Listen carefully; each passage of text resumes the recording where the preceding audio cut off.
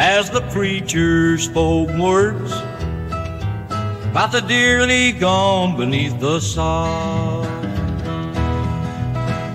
I fell to rumble, tried a trick so tarded, said pull my finger, then I, oops, I sharted. We chuckled low amid the grieving crowd. In the stark old days when laughs weren't loud. With mournful tunes a winding slow. Eyes were leaking, heads were bowed. Then came my cue, couldn't be outsmarted.